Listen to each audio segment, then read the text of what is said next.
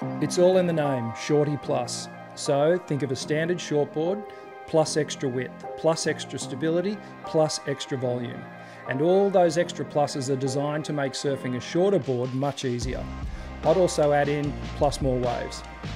Aesthetically, it has the pointy nose and appearance of a performance board. But through the middle and into the tail, it's wider to provide enough stability and flow to keep you moving when the waves lack a little power.